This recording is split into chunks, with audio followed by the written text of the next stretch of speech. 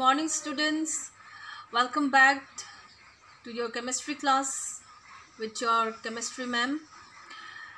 In today's session i would like to discuss about uh, the last types of reactions exothermic and endothermic reactions. Actually these reactions are very simple type and the above discussed types of reactions you can include them the this either exothermic or endothermic type of reactions. And for your easiness first I would like to read out the definition. Very simple. Exothermic reactions are those reactions in which heat or light or any form of energy is liberated or released during the reaction. Say for example, calcium oxide. When you mix with water without supplying any heat, if you just keep on a table, then the beaker, the beaker containing the reaction mixture, when you touch with your hands, you will feel hot. Why is it so? Because the reaction itself is liberating heat. So such type of reactions we will call exothermic reactions.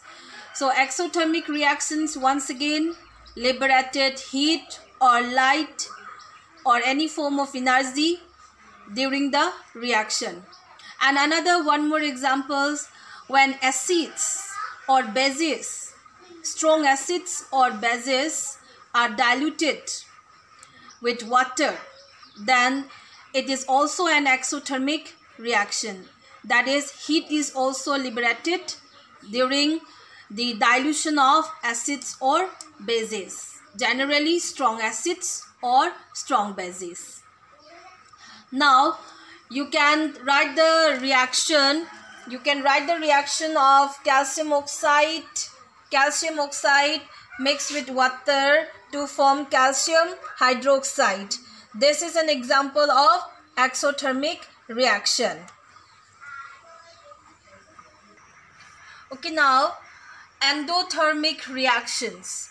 Endothermic reactions are also very simple. Endo, absorb, absorb. Thermic represents generally heat. Endothermic reactions, in this types of reaction, energy in the form of heat, light or any form is absorbed is absorbed during the reaction. Then that's that type of reactions we will call endothermic reactions. So very simple example i have mentioned this example in the previous types of reaction generally decomposition reactions. Decomposition reactions we have further classified into three types based on their uh, type of again the nature of energy they absorb. So here calcium carbonate. Calcium carbonate if you supply heat if you supply heat then calcium carbonate will break down to give calcium oxide and carbon dioxide gas.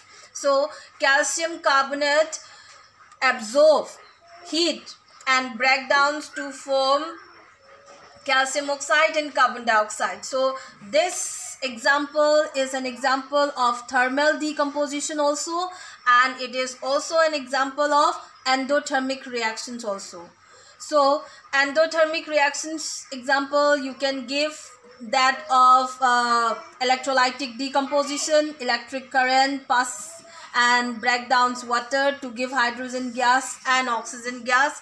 That is also an example of endothermic reactions. So in general very simple endothermic reactions are those reactions in which heat or light or any form of energy is absorbed during the reaction.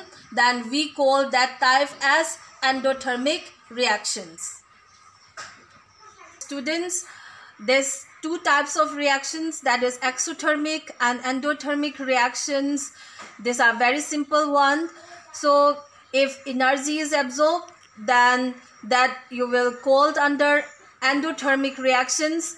And if energy is liberated then you will call that type of reaction as exothermic reactions so uh, i will uh, end up today's session here.